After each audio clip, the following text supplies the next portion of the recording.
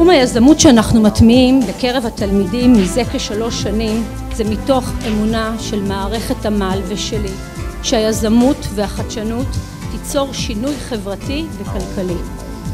הגשר שיצרנו בין החינוך לשוק העבודה האמיתי יוצר דור חדש של מנהיגים צעירים ויוזמתיים. They give you personal attention since we don't have a lot of students, that many students, so it's like they can help everybody according to their needs.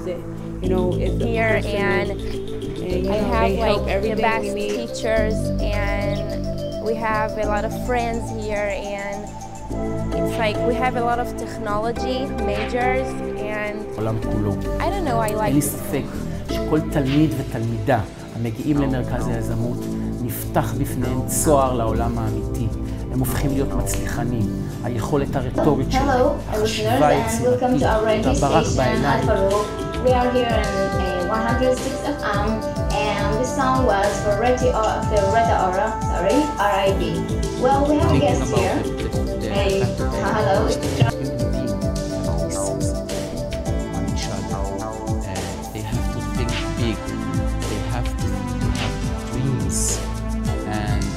believe that every dream is something that you can